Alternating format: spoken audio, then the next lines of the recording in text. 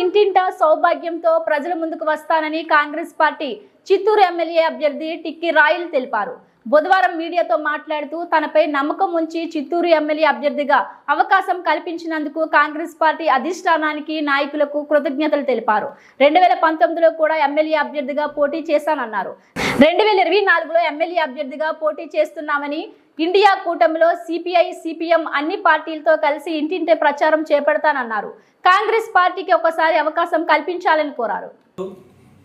నియోజకవర్గ ప్రజలందరికీ చిత్తూరు కాంగ్రెస్ పార్టీ అభ్యర్థిగా అవకాశం కల్పించిన కాంగ్రెస్ పార్టీ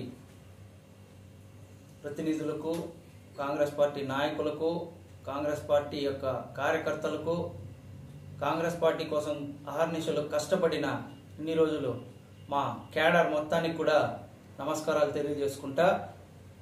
చిత్తూరులో రెండు వేల పంతొమ్మిదిలో కూడా చిత్తూరు కాంగ్రెస్ పార్టీ తరపున అభ్యర్థిగా నేను పోటీ చేశాను. అదేవిధంగా ఆ కష్టాన్ని గుర్తించి మేము చేస్తున్న పనిని గుర్తించి కాంగ్రెస్ అధిష్టానం మరోసారి చిత్తూరు ఎమ్మెల్యే అభ్యర్థిగా నాకు అవకాశం కల్పించారు. అదేవిధంగా చిత్తూరులోని ప్రజలందరూ కూడా కాంగ్రెస్ పార్టీని మరొకసారి అవకాశం కల్పించాలని మనస్ఫూర్తిగా నేను కూడా కోరుకుంటా ఉన్నాను. మా కాంగ్రెస్ పార్టీ తొమ్మిది గ్యారంటీలతో ప్రజల్లోకి వస్తూ ఉంది.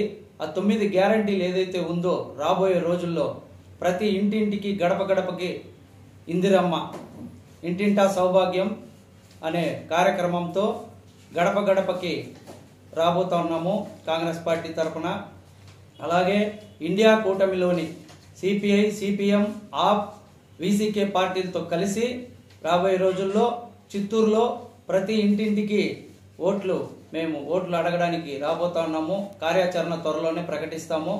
అలాగే చిత్తూరు కాంగ్రెస్ ఎమ్మెల్యే అభ్యర్థిగా నాకు అవకాశం కల్పించినందుకు మరొకసారి మా మాజీ డీసీసీ అధ్యక్షులు వేణుగోపాల్ రెడ్డి గారికి అలాగే మా రఘువీరారెడ్డి గారికి రుద్రరాజు గారికి జంగా గౌతమ్ గారికి ముఖ్యంగా మాకు పిసిసి ప్రెసిడెంట్గా వచ్చి కాంగ్రెస్ జవసత్వాలను మళ్ళీ నింపుకొని మళ్ళీ ఒక ఉరు తొలగిస్తున్న రేసు గుర్రంలాగా పరిగెత్తిస్తున్న మా షర్మిలమ్మ గారికి వైఎస్ షర్మిలారెడ్డి గారికి ధన్యవాదాలు తెలుపుకుంటా అలాగే నాకు ఇంకొకసారి అవకాశం కల్పించినందుకు చిత్తూరు ప్రజలకు కూడా నేను ఎల్లవేళలా అందుబాటులో ఉంటానని తెలుపుకుంటా.